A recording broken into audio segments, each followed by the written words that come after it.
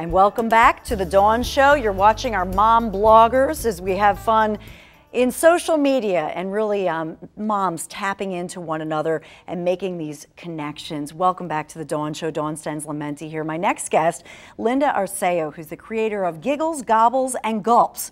And we are making some cocktails this morning. I love it. We sure are. Well, it's the self-medication of the holiday season, right? well, no, no uh, holiday is complete without some fun spirits. So this is uh, definitely something that we want to make sure that you have the tools you need to get out there and whip up some good cocktails.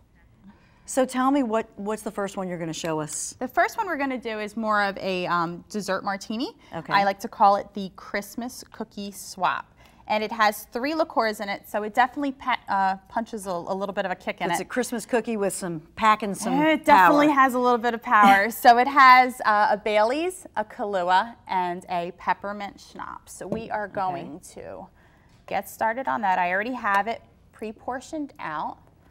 So was that a shot of? That was a shot of Bailey's, Bailey's, right here. Okay. Um, and then we're going to have a shot of peppermint schnapps that I just put in. And okay. then we're going to do a shot of Kahlua and that is over ice. We're gonna get our handy little cocktail shaker and we're going to shake that up. What you would normally shake like is to have um, a chilled martini glass. Okay. But we're gonna go with. Do you put it? You don't fancy. put anything on the rim or anything. No, we're gonna drizzle okay. it with chocolate at the Ooh, end. fabulous. So and do you use a dark chocolate or a milk chocolate or? Um, I did kind? a milk chocolate. Mm.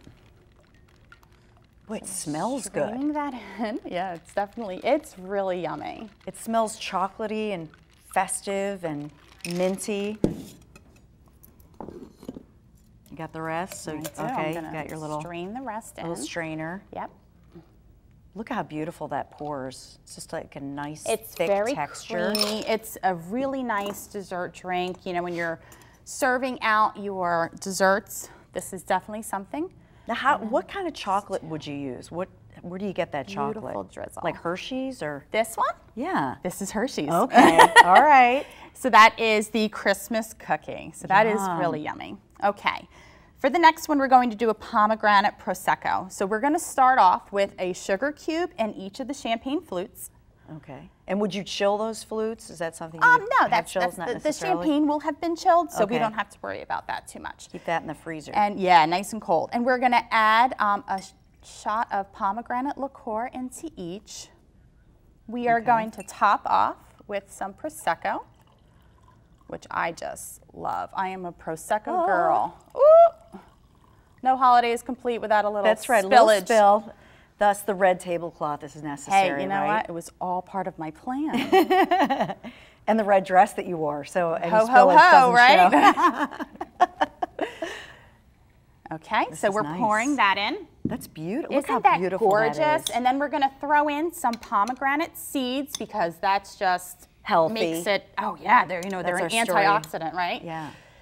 We're gonna throw those and oh, we got one that now, just jumped those off the something clip. that are they chilled? Are they room temperature? The pomegranate seeds? Yeah. Um, I like to keep them room temperature. And then okay. we finish off with Ooh. a rosemary sprig just to kind of give it that holiday cheer look. This Ooh. is actually what I drank on Thanksgiving. Cheers. Oh, I'll take a sip with you. Nice. Let me sip this. Mmm. Oh, that's Isn't different. That it's yummy? good. So yummy, as yummy. it um as it you know incorporates, the sugar cube will dissolve. So it's definitely really good. It gets sweeter and sweeter as the drink progresses. Nice. All right. So our third one is a grapefruit and ginger spritz. We're rimming the grapefruit glass, and we're gonna so put that. Now, this in. is a two-part series, Linda. So by the second show, I'll be able. Woo!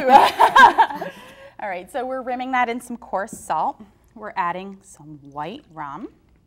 White and, rum? Yes. And this is grapefruit juice? And that's grapefruit juice. Um, typically, you know, these are really best served with fresh grapefruit juice, but, okay. you know. Fresh squeezed is yeah, preferable? Yeah.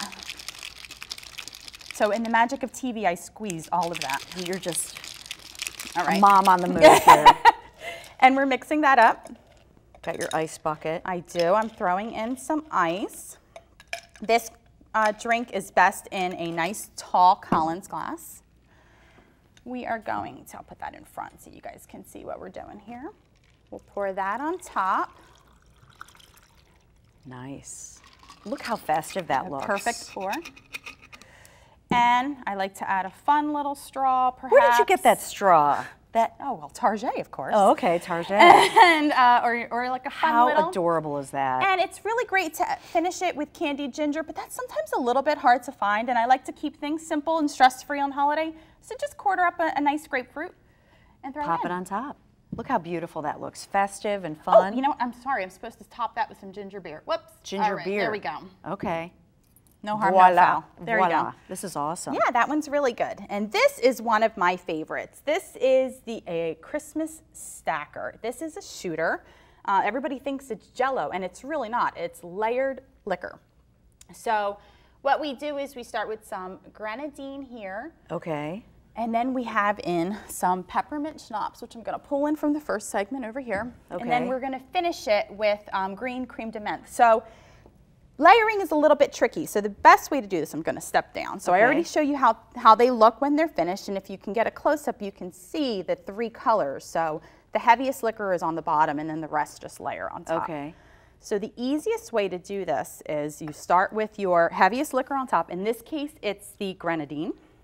And then you nestle your spoon inside. All right. You've got the spoon, And- the spooning technique going Yeah. on here, Linda. And um, you can free pour, but I think sometimes the bottle is a little bit heavy and makes it a little bit hard to ke- keep the layering perfect. So I like to pre-portion it out. I use these fun little okay. um, measuring cups. And and you slowly pour. This isn't something that you can rush, but as you see from the pouring, look at that. it's staying right on top because you're You're such a it. pro.